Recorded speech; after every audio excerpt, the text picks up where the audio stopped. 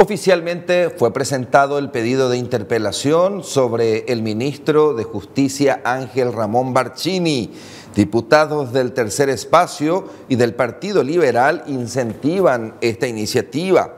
Los miembros de estos sectores políticos desean dejar sentada su postura contra el ministro, mientras que los colorados disidentes no firmaron el documento. El diputado Raúl Benítez del Encuentro Nacional dijo que el pedido incluye las numerosas situaciones que evidencian la incapacidad de Barcini con las graves omisiones en su gestión y las denuncias de supuestos vínculos con grupos criminales.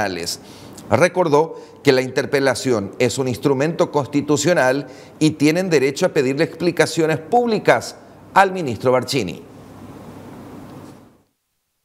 Esto no es que nace ahora con lo de Marcelo, eso hay que tener en cuenta. Los Marcelo tienen que ser la cerecita del postre.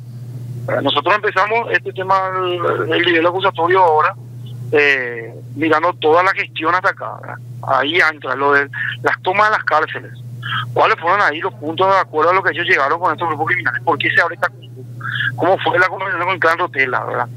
Eh, después tenemos los otros puntos que son el, el tema este de lo de Prosegur. ¿Cómo fue la información? ¿Cómo llega este, esta información? ¿Qué se hace? ¿Qué mecanismo tuvo? ¿Existe o no existe un protocolo? ¿Se aplicó ese protocolo o no?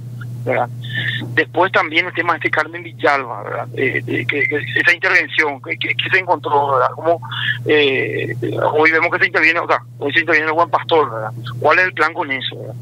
Eh, después la pregunta es si él tiene o no tiene algún plan ¿verdad? con respecto a las cárceles. Tenemos un presupuesto más hasta reducido en cierta área del Ministerio de Justicia. Entonces, ¿cómo él piensa aplicar de ahora en adelante los planes que tiene pensado aplicar? Entonces le preguntamos eso también, ¿Cómo va a, hacer esa reforma del sistema penitenciario con ese presupuesto? ¿Cuál es su plan? ¿Tiene algún proyecto?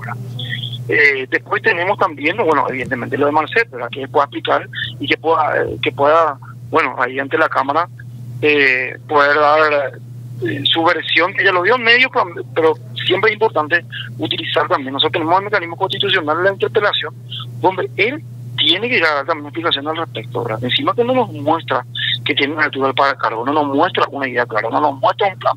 Tenemos otras dudas sobre si tiene o no vinculaciones con, con grupos criminales.